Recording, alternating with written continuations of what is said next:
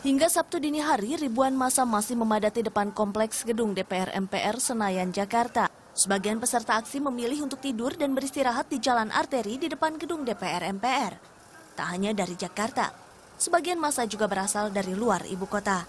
Mereka akan tetap berada di sana hingga ada tanggapan resmi dari pemerintah.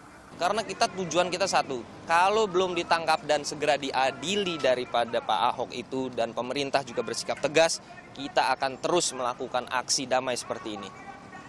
Tujuan kita jelas, satu, karena di Indonesia ini tanpa ada masa seperti ini, tanpa kita melakukan aksi menyampaikan aspirasi, kita sudah tahu hukum apa yang akan berjalan. Akibat aksi massa lalu lintas di kawasan Senayan terganggu. Kemacetan sudah terjadi sejak di kawasan Semanggi. Sebagian pengendara motor bahkan harus melalui akses tol dalam kota untuk melintas karena ruas arteri telah dikuasai masa. Di kawasan Silang Monas dan Patung Kuda, Jakarta Pusat, kondisi berangsur kondusif. Beberapa petugas kebersihan nampak membersihkan sisa-sisa sampah dari aksi massa. Namun dua bangkai kendaraan yang dibakar massa kini diamankan di depan pintu Monumen Nasional.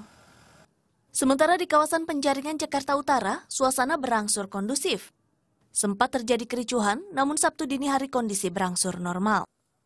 Memasuki dini hari, kawasan di Gedong Panjang, Jakarta Utara sudah berlangsung kondusif. Namun memang warga masih terlihat uh, antusias dan juga berjaga di kawasan ini karena dikhawatirkan masa akan kembali ke daerah ini. Namun dari penjagaan pihak kepolisian sendiri sudah berkurang. Sebelumnya Jumat malam kericuhan pecah di kawasan ini Kericuan terjadi saat masa dari arah luar Batang melakukan aksi anarkitis. Mereka menjarah dua minimarket dan membakar kendaraan polisi. Dalam waktu singkat, aksi dapat diredam polisi. Di kawasan luar Batang, Jakarta Utara, kondisi juga berangsur kondusif. Ratusan polisi dari Satbrimob Polda Metro Jaya diterjunkan untuk menjamin keamanan.